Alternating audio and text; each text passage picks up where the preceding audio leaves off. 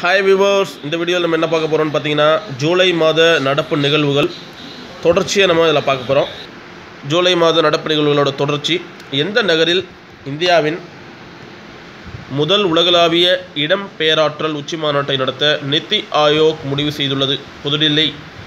புதுடில்லியில் முதல் இந்தியாவின் முதல் உலகளாவிய இடம்பெயர் ஆற்றல் உச்சி மாநாட்டை நடத்த நிதி ஆயோக் முடிவு செய்துள்ளது. எட்டாவது சௌராஷ்டிரா பட்டேல் கலாச்சார சமாஜ் சர்வதேச மாநாடு எந்த நாட்டில் நடைபெற்றது அமெரிக்கா. சௌராஷ்டிரா பட்டேல் கலாச்சார சமாஜ் சர்வதேச மாநாடு அமெரிக்காவில் நடைபெற்றது. விளையாட்டுக்கான வடிவமைப்பு பல்கலைக்கழகத்தை நிறுவ எந்த மாநில அரசுடனான ஒப்பந்தத்தில் யுனெஸ்கோ கையெழுத்திட்டுள்ளது? ஆந்திர பிரதேஷ் விளையாட்டுக்கான வடிவமைப்பு பல்கலைக்கழகம் நிறுவ ஆந்திர பிரதேஷ் மாநிலத்துடன் யுனெஸ்கோ கையெழுத்திட்டுள்ளது. எந்த மாநில அரசு ஊட்டச்சத்தின்மையை ஒழிக்க போசான் அபியான் திட்டத்தை தொடங்கியுள்ளது? குஜராத்.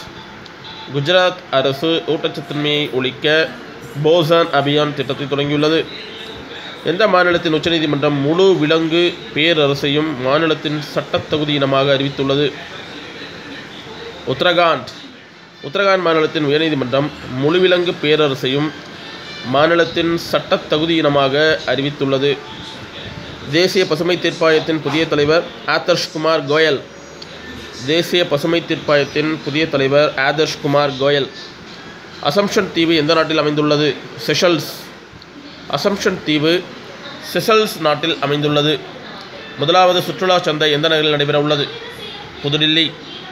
முதலாவது சுற்றுலா சந்தை புதுடில்லி நகரில் நடைபெற உள்ளது. வடகிழக்கு சபையின் அறுபத்தேழாவது பொதுக்கூட்டம் எந்த மாநிலத்தில் நடைபெற்றது? மேகாலயா. வடகிழக்கு சபையின் அறுபத்தேழாவது பொதுக்கூட்டம் மேகாலயாவில் நடைபெற்றது.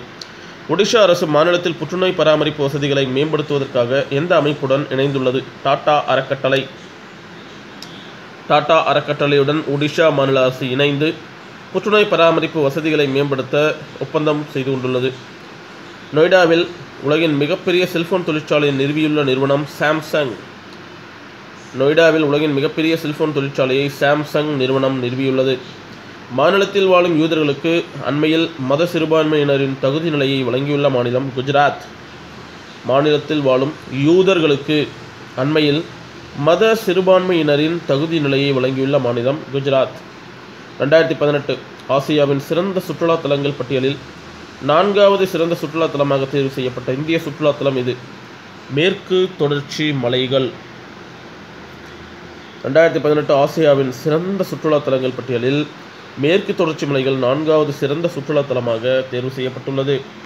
இந்தியாவின் இணைய தொலைபேசி சேவையை தொடங்கியுள்ள இந்தியாவின் முதல் தொலைத்தொடர்பு நிறுவனம் பிஎஸ்என்எல் இந்தியாவின் இணைய தொலைபேசி சேவையை தொடங்கியுள்ள இந்தியாவின் முதல் தொலைத்தொடர்பு நிறுவனம் இணைய தொலைபேசி சேவை பிஎஸ்என்எல் இந்திய பல்கலைக்கழகங்கள் சங்கத்தின் புதிய தலைவர் சந்தீப் சஞ்சட்டி. இந்திய பல்கலைக்கழகங்கள் சங்கத்தின் புதிய தலைவர் சந்தீப் சஞ்சட்டி. இந்தோனேஷியாவின் சபாங் துறைமுகத்திற்கு செல்லும் இந்திய கடற்படையின் முதல் போர்க்கப்பல் ஐஎன்எஸ் சுமித்ரா. இந்தோனேஷியாவின் சபாங் துறைமுகத்திற்கு செல்லும் இந்திய கடற்படையின் முதல் போர்க்கப்பல் ஐஎன்எஸ் சுமித்ரா. மாநில வணிக சீர்திருத்த மதிப்பீட்டின்படி தொழில் தொடங்க எளிதான மாநிலங்கள் தரவரிசையில் முதலிடம் பிடித்த மாநிலம் ஆந்திர பிரதேஷ் மாநில வணிக சீர்திருத்த மதிப்பீட்டுப்படி தொழில் தொடங்க எளிதான மாநிலங்கள் பட்டியலில் முதலிடத்தில் உள்ள மாநிலம் ஆந்திர பிரதேசம் பாரம்பரிய மலர்கள் மகத்துவ மையம் எந்த மாநிலத்தில் அமைக்கப்பட உள்ளது? தமிழ்நாடு. பாரம்பரிய மலர்கள் மகத்துவ மையம் என்ற மையத்தை தமிழ்நாடு அமைக்க உள்ளது. உண்ணத்தக்க காட்டு வகை காலானில் புற்றுநோயை எதிர்த்து போராட வல்ல ஒரு நிலைமையை கண்டறிந்துள்ள இந்திய பல்கலைக்கழகம் இது. கோவா பல்கலைக்கழகம். உண்ணத்தகுந்த காட்டு வகை காளானில் புற்றுநோயை எதிர்த்து போராடக்கூடிய ஒரு நிலைமை இருக்குது அப்படின்னு கண்டுபிடிச்ச பல்கலைக்கழகம் கோவா பல்கலைக்கழகம். எந்த நகரில் இந்திய கொரிய தொழில்நுட்ப பரிவர்த்தனை மையம் நிறுவப்பட்டுள்ளது? புதுடில்லி. இந்திய கொரிய தொழில்நுட்ப பரிவர்த்தனை மையம் புதுடில்லியில் நிறுவப்பட்டுள்ளது. உலகின் மிக உயர்ந்த எரிமலையான மவுண்ட் ஓஜஸ் ஓஜோஸ்டெல் சலட்டோவை ஏறிய ரெண்டாவது இந்திய மலையேற்ற வீரர் யார்? சத்யரூப் சித்தாந்தா. சத்யரூப் சித்தாந்தா என்பவர் உலகின் மிக உயர்ந்த எரிமலையான மவுண்ட் ஓஜோஸ்டெல் சலட்டோவை ஏறிய ரெண்டாவது இந்திய மலையேற்ற வீரர்.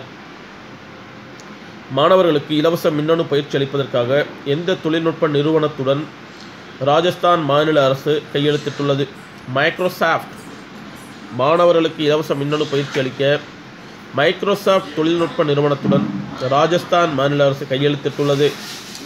ஏழைகளுக்கு மானிய விலையில் உணவு வழங்க அண்ணா உணவகம் தொடங்கியுள்ள மாநிலம் ஆந்திர பிரதேஷ்.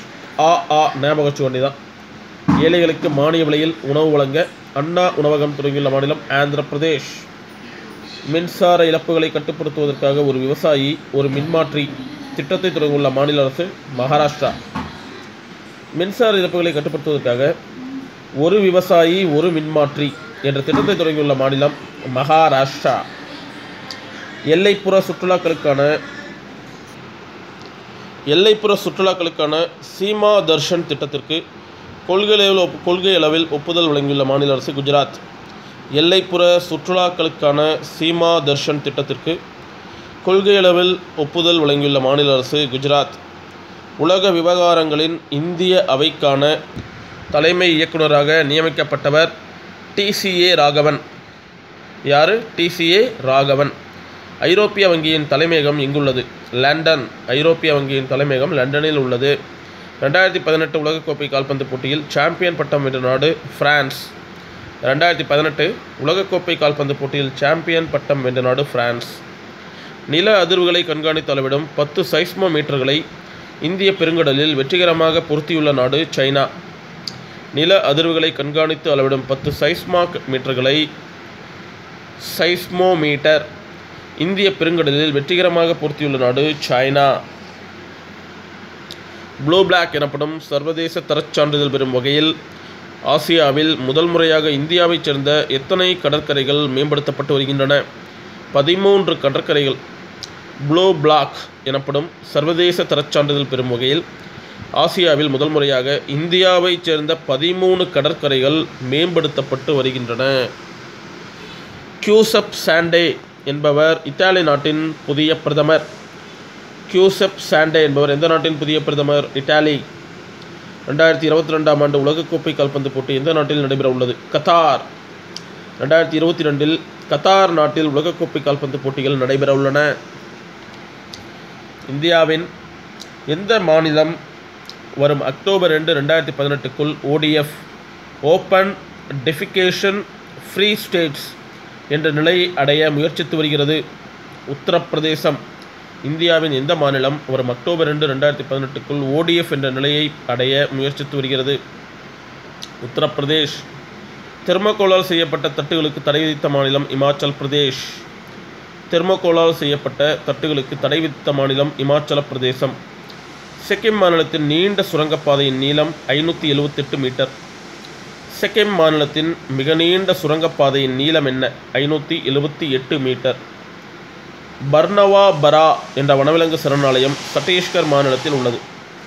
பர்னவா பரா என்ற வனவிலங்கு சரணாலயம் சத்தீஸ்கர் மாநிலத்தில் அமைந்துள்ளது. ரெண்டாயிரத்தி பத்தொன்பதாம் ஆண்டு குடியரசு தின கொண்டாட்டத்தில் சிறப்பு விருந்தினராக பங்கேற்க எந்த நாட்டின் அதிபர் அமெரிக்கா அழைக்கப்பட்டுள்ளார்? அமெரிக்கா. ரெண்டாயிரத்தி பத்தொன்பதாம் ஆண்டு குடியரசு தின கொண்டாட்டத்தில் சிறப்பு விருந்தினராக பங்கேற்க அமெரிக்க நாட்டின் அதிபர் அழைக்கப்பட்டுள்ளார். நான்காவது தேசிய சுரங்கங்கள் மற்றும் கனிமங்கள் கூட்டம் எந்த நகரில் நடைபெற்றது? இந்தோர். நான்காவது தேசிய சுரங்கங்கள் மற்றும் கனிமங்கள் கூட்டம் மத்திய பிரதேசம் இந்தூரில் நடைபெற்றது. மாநிலத்தின் வரலாறு மற்றும் கலாச்சாரத்தை பாதுகாக்க பாரம்பரிய அமைச்சகத்தை அமைத்துள்ள மாநிலம் ஒடிஷா. மாநிலத்தின் வரலாறு மற்றும் கலாச்சாரத்தை பாதுகாக்க பாரம்பரிய அமைச்சகம் என்ற ஒன்றை அமைத்துள்ள மாநில அரசு ஒடிஷா. உலக சுரங்க அமைப்பின் ஆசிய பசிபிக் பிராந்தியத்துக்கான துணைத் தலைவராக தேர்வு செய்யப்பட்டுள்ள நாடு இந்தியா. உலக சுரங்க அமைப்பின் ஆசிய பசிபிக் பிராந்தியத்துக்கான துணைத் தலைவராக தேர்வு செய்யப்பட்டுள்ள நாடு இந்தியா. தெற்கு சூடானில் ஆயுதப்படை ஆயுத தடை விதிக்க எந்த தீர்மானத்தை ஐநா நிறைவேற்றியுள்ளது? தீர்மானம் ரெண்டாயிரத்தி நானூற்றி இருபத்தி எட்டு. தெற்கு சூடானில் ஆயுத தடை விதிக்க எந்த தீர்மானத்தை ஐநா நிறைவேற்றியுள்ளது? தீர்மானம் டூ ஃபோர் டூ எயிட் இவற்றில் மோகபத்ரா எந்த துறையுடன் தொடர்புடையவர்? சிற்பக்கலை. மோகபத்ரா என்பவர் சிற்பக்கலையுடன் தொடர்புடையவர். I am not afraid of English என்ற திட்டம் எந்த மாநிலத்தில் தொடங்கப்பட்டுள்ளது? Haryana. I am not afraid of English என்ற திட்டம் ஹரியானா மாநிலத்தில் தொடங்கப்பட்டுள்ளது. நான் ஆங்கிலத்தை பார்த்து பயப்பட மாட்டேன் அப்படிங்கிற திட்டம் ஹரியானாவில் தொடங்கப்பட்டுள்ளது. எந்த நகரில் உலகின் மிகப்பெரிய நுழைவானை மையம் திறக்கப்பட்டுள்ளது? டாக்கா பங்களாதேஷ். எந்த நகரில் உலகின் மிகப்பெரிய நுழைவானை மையம் திறக்கப்பட்டுள்ளது? டாக்கா பங்களாதேஷ். ரெண்டாயிரத்தி பதினெட்டு உலகளாவிய கண்டுபிடிப்பு அட்டவணையில் ஜிஐஐ இந்தியாவின் தரநிலை ஐம்பத்தி ஏழாவது இடத்தில் உள்ளது. ரெண்டாயிரத்தி பதினெட்டு உலகளாவிய கண்டுபிடிப்பு அட்டவணையில் இந்தியா ஐம்பத்தி ஏழாவது இடத்தில் உள்ளது. நாகர்ஹோலே வனவிலங்கு சரணாலயம் எந்த மாநிலத்தில் உள்ளது? கர்நாடகா. நாகர் ஹோலே என்ற வனவிலங்கு சரணாலயம் கர்நாடக மாநிலத்தில் அமைந்துள்ளது. ஸோ பார்த்தீங்கன்னா கரண்ட் அஃபேர்ஸ் வந்து நம்ம இருபதுலேருந்து இருபத்தஞ்சி கொஷின்ஸ் நம்ம எதிர்பார்க்கலாம். கண்டிப்பாக இதெல்லாம் படிச்சுட்டு போங்க. யூஸ்ஃபுல்லாக இருக்கும்னு நான் நம்புகிறேன் நன்றி வணக்கம். So TNPSC time for victory என்ற பெயரில் ஃபேஸ்புக் வலைதளமும் உள்ளது. அதில் போய் நீங்கள் உங்களுடைய கருத்துக்களை பதிவிடலாம். நன்றி வணக்கம்.